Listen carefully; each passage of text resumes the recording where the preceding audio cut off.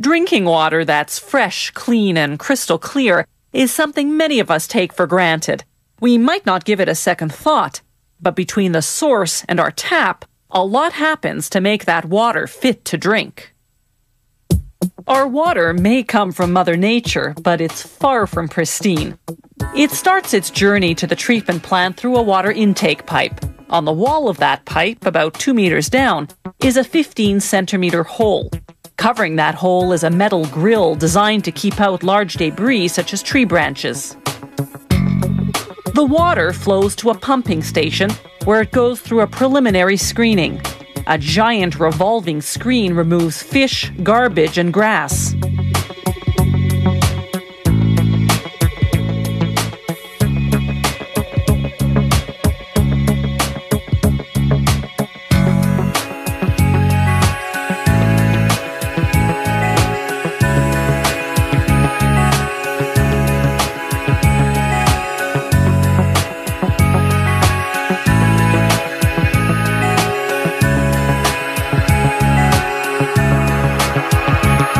Once they remove the debris, a low pressure pump moves the water into the treatment plant.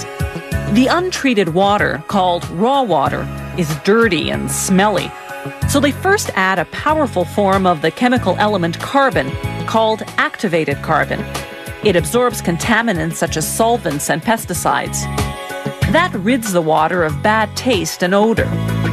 From there, the water then goes through a series of mixing tanks.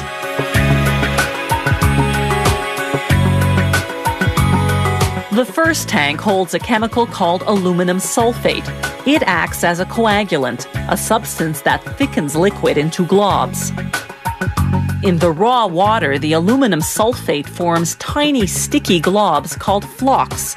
Bacteria, mud, and other impurities stick to those flocks. Then the flock filled water moves on to the second mixing tank.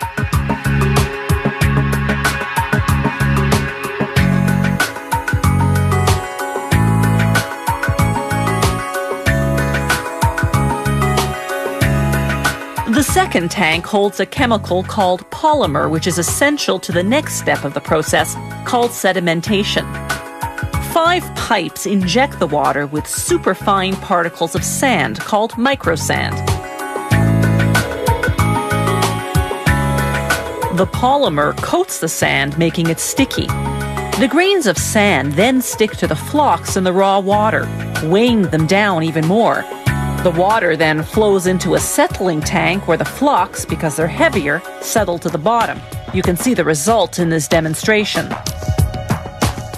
The water is finally clear, but it's far from drinkable because it's still full of bacteria, viruses, and other organic matter. So on to the next step, filtration. The water flows onto the top of the filter, then trickles downward, passing through a layer of anthracite, a type of coal, then through a layer of sand. This filters out any remaining particles, which then flow to the middle. But the water is still teeming with bacteria and viruses, so it has to be disinfected.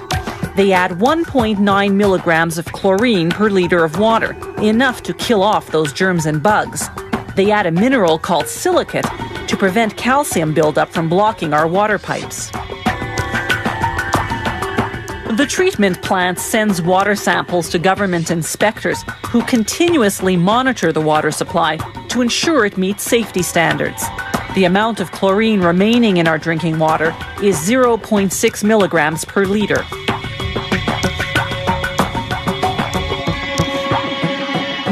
Chlorine gas the plant uses is highly toxic. Should any leak out, emergency teams would have to evacuate a 10 kilometer radius. So the plant stores the drums of chlorine in a high security area. It's taken about 45 minutes to turn raw water into treated water. Now these electric motors will pump it through underground pipes right to your tap.